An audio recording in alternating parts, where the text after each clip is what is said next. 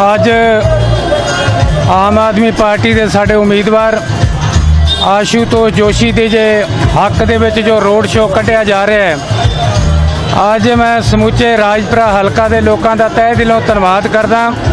ਕਿ ਅੱਜ ਦੇ ਰੋਡ ਸ਼ੋਅ ਦੇ ਵਿੱਚ ਜੋ ਉਤਸ਼ਾਹ ਹੈ, ਅੱਜ ਇਹ ਜੋ ਜਿੱਤ ਹੈ, ਬਿਲਕੁਲ ਯਕੀਨੀ ਤੇ ਲੋਕਾਂ ਨੇ ਕਲੀਅਰ ਕਰ ਦਿੱਤਾ ਹੈ ਕਿ 4 ਤਰੀਕ ਨੂੰ ਜੋ ਵੋਟਾਂ ਨੇ, ਵੱਡੀ ਗਿਣਤੀ ਦੇ ਵਿੱਚ ਪਾ ਕੇ ਆਸ਼ੂਤੋਸ਼ ਜੋਤੀ ਜੀ ਨੂੰ ਬਹੁਤ ਵੱਡੀ ਭਾਰੀ ਬਹੁਮਤ ਲੋਕਾਂ ਨੇ ਜਿਤਾਉਣਾ ਹੈ।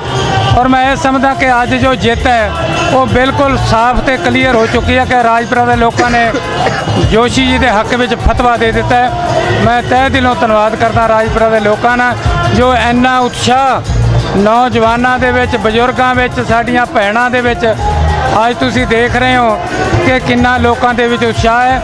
ਮੈਂ ਫਿਰ ਇਹੀ ਕਹਿ ਰਿਹਾ ਕਿ ਅੱਜ ਇਹਨਾਂ ਦੀ ਜੋ ਜਿੱਤ ਹੈ ਆਸ਼ੂਤੋਸ਼ ਜੋਸ਼ੀ ਦੀ ਸੀ ਸਾਡੀ ਆਮ ਆਦਮੀ ਪਾਰਟੀ ਦੀ ਉਹ ਲੋਕਾਂ ਨੇ ਬਿਲਕੁਲ ਸਾਫ਼ ਕਲੀਅਰ ਕਰ ਦਿੱਤੀ ਹੈ।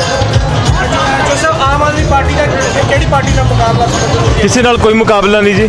ਸਾਰੀਆਂ ਪਾਰਟੀਆਂ ਡਰੀਆਂ ਹੋਈਆਂ ਲੋਕਾਂ ਦਾ ਬਹੁਤ ਮਾਨ ਸਤਿਕਾਰ ਤੇ ਪਿਆਰ ਮਿਲ ਰਿਹਾ ਤੇ ਮੈਂ ਸਾਰੀ ਪਬਲਿਕ ਦਾ ਬਹੁਤ ਧੰਨਵਾਦੀ ਹਾਂ ਜੋ ਸਾਨੂੰ ਸਮਰਥਨ ਮਿਲ ਰਿਹਾ। ਸਰਦਾਰ ਸੁਜੀਤ ਸਿੰਘ ਗੜੀ ਜੀ ਸਾਡੇ ਨਾਲ ਨੇ ਸਾਨੂੰ ਬਹੁਤ ਬਲ ਮਿਲਿਆ ਹੈ। ਤੇ ਪੂਰੇ ਰਾਜਪੁਰਾ ਤੋਂ ਇਸ ਪਿੰਡਾਂ ਤੋਂ ਹਰ ਗਲੀ ਮਹੱਲੇ ਸਾਨੂੰ ਸਮਰਥਨ ਮਿਲ ਰਿਹਾ ਜੀ। ਬਾਰੇ ਤੁਸੀਂ ਕੀ ਕਹਿਣਾ ਚਾਹੋਗੇ? ਬਸ ਧੰਨਵਾਦ ਹੈ ਪਬਲਿਕ ਦਾ ਇੰਨਾ ਪਿਆਰ ਦੇ ਰਹੀ ਹੈ ਜੀ।